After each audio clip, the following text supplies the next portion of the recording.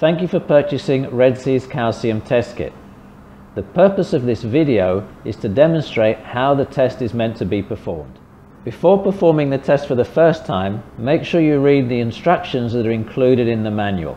Once you've read the written instructions, you have got very easy to follow graphic instructions on the color card. Before doing the test, I prepared a sample of water from the aquarium and I've washed all of my syringes and vials so we're ready to go. Stage one is to take 5 ml of the water to be tested and we take that with the syringe making sure that we are accurate in the 5 ml.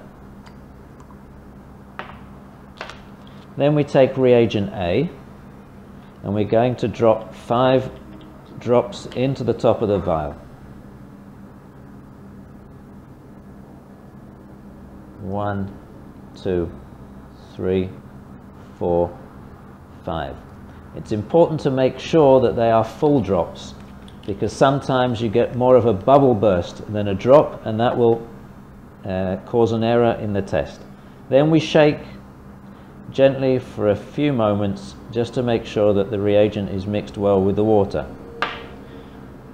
We then take our reagent B, which is a powder, and we have to put one level spoon of reagent into the vial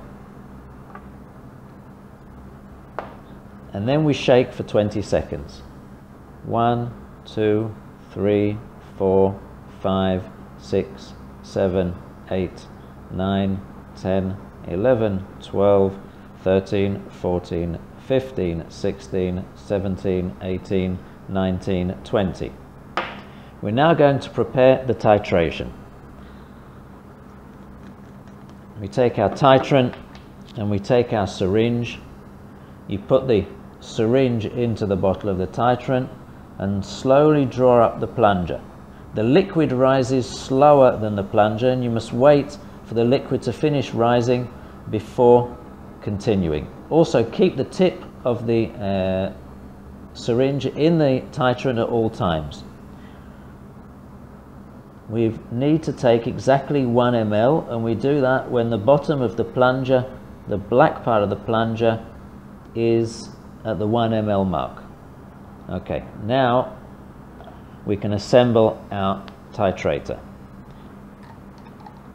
We screw the vial onto the bottom and we insert our syringe into the top, making sure that the scale is clearly visible. And now we start doing the titration by slowly adding the titrant, pushing down the plunger, and we wait for a color change to occur in the vial. Now we're shaking. The important thing is to carry on shaking at all times.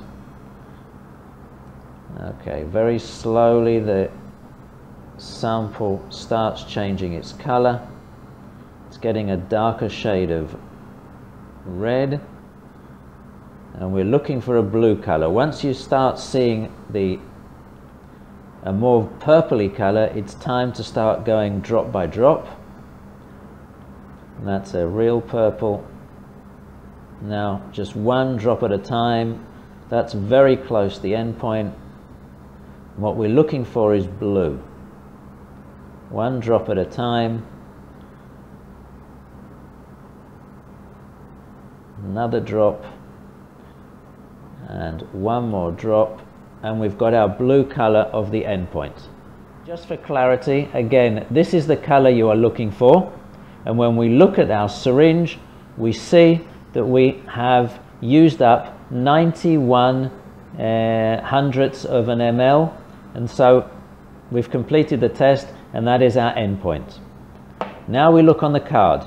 We turn it over and on the back of the card there is a table. And we look for 91. There isn't 91 but there's 90 and 92. The midpoint between them gives us a reading of 455 ppm of calcium. And that is the end of the calcium test.